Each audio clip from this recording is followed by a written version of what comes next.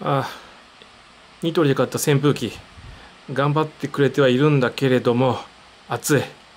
やっぱり何よりねいやこの部屋エアコンがついてない。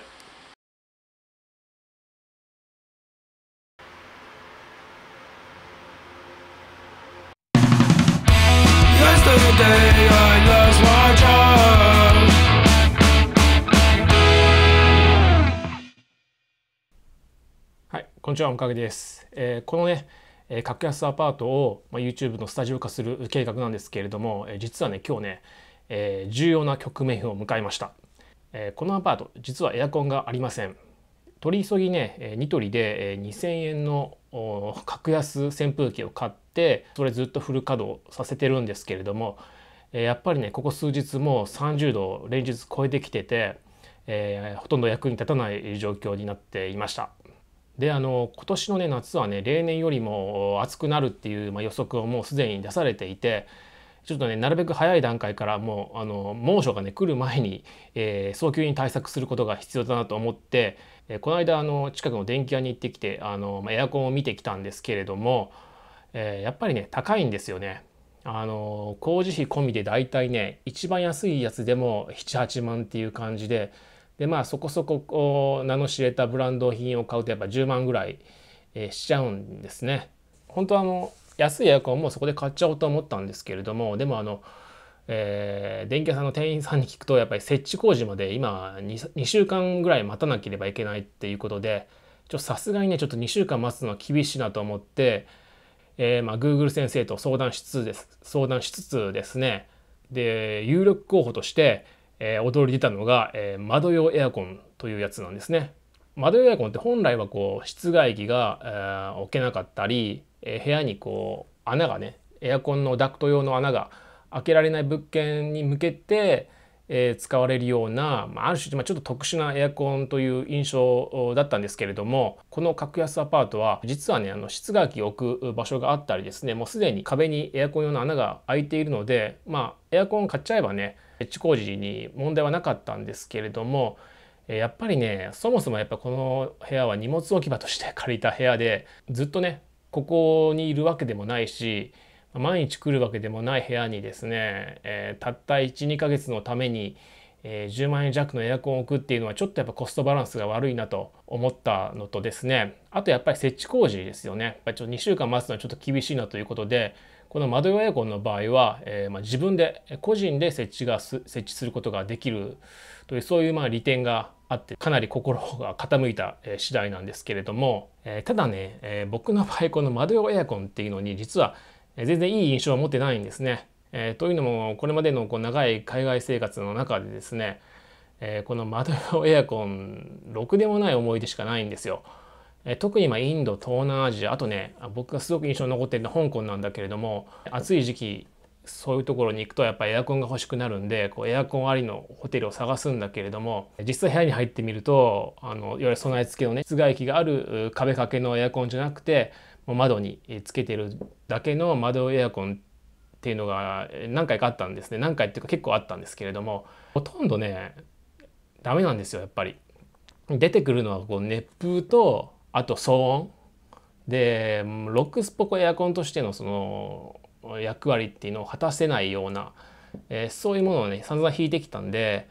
えー、正直ね、えー、窓用エアコンちょっとどうかなって思ったんですけれどもただまあいろいろレビューとかを読んでるとやっぱり最近の窓用エアコン特にこう日本製の窓用エアコンはまあ、そういった、え、パワーの問題とかあと騒音問題もだいぶ改善されているということで結構ねポジティブな意見が多かったんで、まあ、ここはねちょっと物の試しということで、え、窓エアコンを買ってみました。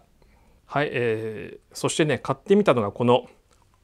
コロナ。いいですね。コロナの、えー、ウィンドエアコン、まあ、これ窓用エアコンですね。の型番は CW1620WS というものです。えっと、一応ね、え、対応する部屋が木造4.4畳から4.5畳ということであのこの部屋もご覧の通り実は8畳ぐらいある木造部屋な部屋なんですけれども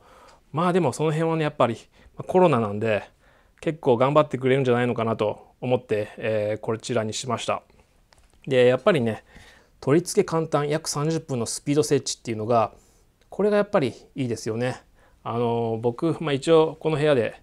YouTube をしようということなんですけれどもとは言ってもね、えー、まあ、ずっといるわけでもないと思うしあの引っ越しする時とかにねいちいちこう業者を呼んでエアコンだけ外すっていうのは面倒なんでその点これだと自分で取り外しがでできるので便利かなと思っています。ということでねこれ今からちょっと設置しようと思います。設置するのはね、え、この窓です。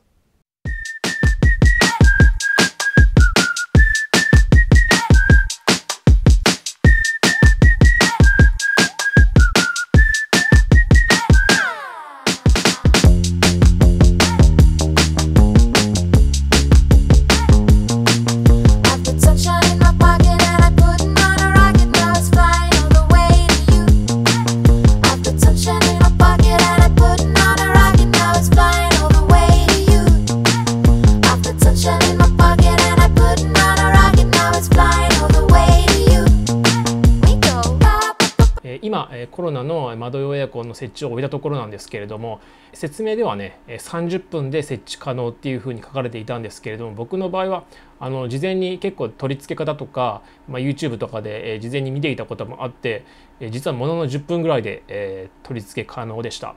ただね実際にその作業時間の間には隙間を埋めたりするような工程も含まれていると思うんですけれども僕の場合はもうこの窓とクーラーの隙間に関しては付属しているそういうテープとかを使わずにですねもう養生テープでベタベタ貼ってしまおうと思ったのでその方が簡単だし取り外しもきっと簡単だと思います。なので本当にね10分ぐらいで、えー、簡単に設置可能だった、えー、次第です。窓エアコンの設定はね24度にしてます。今ね室内の気温が27度。えー、稼働する前の室温が31度だったんで、えー、27度まで下がってくれています、えー、かなり快適な気温でこれがね夏中維持できるんだったらお買い得だったなと思っています、えー、ちなみにねこのコロナの窓エアコンの推奨されている部屋っていうのは木造でだいたい4.5畳なんですね。でも僕が今こう撮影に使っているここっていうのは8畳ぐらいあるんですよ。なので、まあ、スペック上はね足りないはずなんですけれども、えちゃんと効いています。今日外気温がだいたい32度ぐらいなんですね。で今、え午後の2時なんで一番暑い時期なんですけれどもそれでも27度まで下がってくれていますので、えー、現在は順調。ただねこれが果たしてあの直射日光がガンガン照っている35度とか36度になるような8月の猛暑日にまあ、どれだけ効いてくれるのかっていうのはまだ未知数なんですけれども、まあ、その点もまた検証していきたいなと思います。えー、ということでね今回はこの格安アパート YouTube スタジオ化計画、えー、まあ、重要な局面としてですね、えー、部屋にエアコンを取り付けましたしかもね窓用エアコンコロナの窓用エアコンなんですけれどもまだあのつけたばかりなんで、えー、はっきりとしたことは言えませんけれども現状初日としてはね満足です4万円弱でしかも設置工事は個人で簡単にできて取り外しも自分でできてっていうことを考えれば手軽にねエアコンを取り付けたいという方には有力な選択肢になるんじゃないかなと思いますということで今日はこの辺りまでお迎えでした。